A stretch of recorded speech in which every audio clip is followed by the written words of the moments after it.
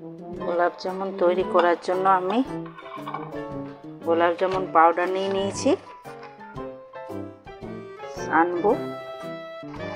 আটার লোয়ের মতন এটাকে ছানতে হবে।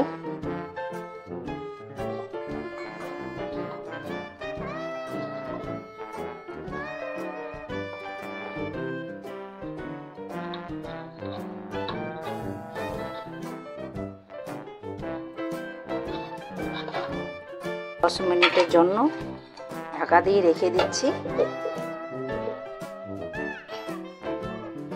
দশ মিনিট রেস্টের পর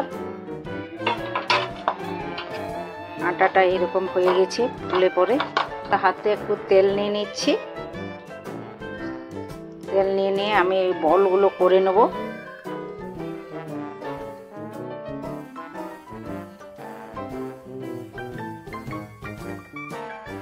গ্যাসটা ধরিয়ে দিলাম। আমি কড়াইয়ের মধ্যে সাদা তেল নিয়ে নিয়েছি, চাপিয়ে দিলাম। গ্যাসটা ধরিয়ে দিচ্ছি কড়াইটা চাপিয়ে দিলাম। এদিকে আমার চিড়েটা করার জন্য সামান্য জল দিয়ে দিচ্ছি।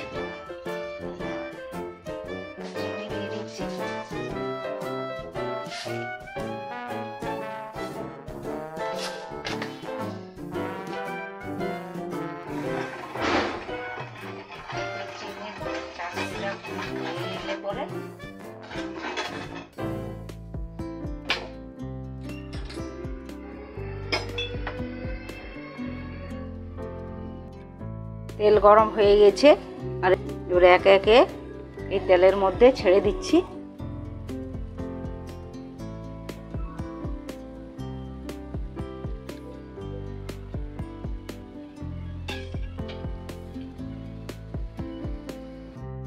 হালকা আছে, করার চেষ্টা করবেন, নাহলে জ্বলে যাবে।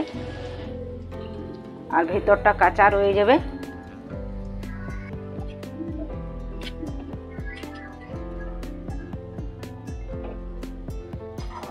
আমি এদিকে চিনের সিঁড়িটা একটু নেড়ে নিচ্ছি। গোল্ডেন কালার হয়ে গেছে। আমি এটা এবারে গ্যাসটা বন্ধ করে দিলাম। এবারে যে ওই চিনের সিঁড়িটা আমি করতে দিয়েছি ওই ধারে। এটার মধ্যে ঢেলে দিচ্ছি।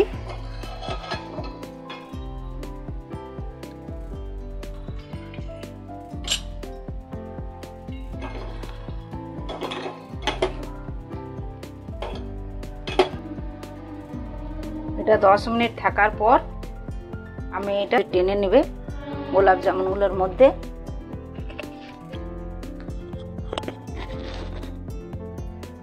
এটার জন্য দেখুন কত ফুলে গেল। আমি আপনাদেরকে একটা কেটে দেখাচ্ছি।